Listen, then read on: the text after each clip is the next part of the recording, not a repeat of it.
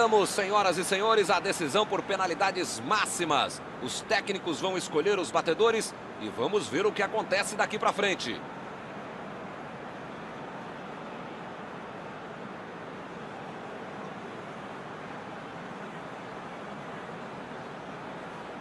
Meus amigos, vamos agora para a primeira cobrança. Tá na frente, 1 a 0. Assim fica fácil. Bola para um lado, goleiro para o outro, nem na tela aparece.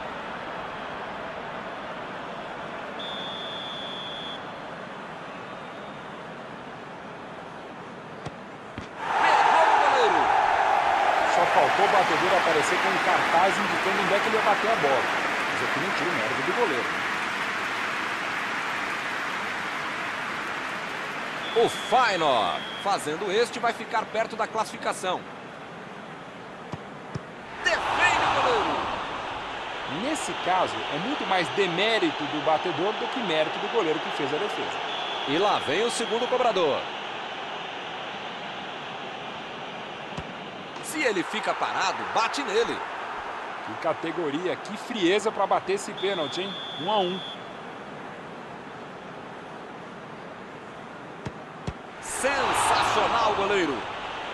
O goleiro também tem antevisão de craque. Ele imaginou o que o batedor ia fazer e foi muito bem na bola. Segura o goleiro. O goleiro sacou direitinho o que tinha de fazer e foi muito bem. Ele caminha até a área para bater o quarto pênalti. Ela entrou do lado direito. Será que ele viu o goleiro indo para o outro lado para deslocá-lo desse jeito? Não sei, mas de fato foi o que aconteceu. Entrou do lado direito. Ele colocou essa bola como se estivesse jogando no computador. Bela cobrança. O goleirão foi nela, mas a bola balançou a rede.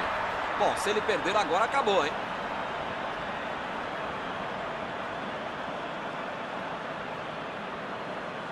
Agora a responsabilidade é toda dele. Se perder, acabou.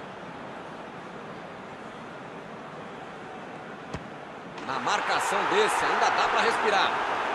É, agora vamos para as batidas alternadas, em A tensão aumenta.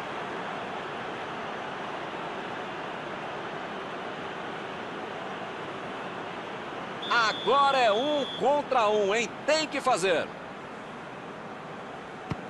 Que categoria, hein? Bateu o pênalti como se estivesse jogando em casa. Se perder agora, sairão derrotados.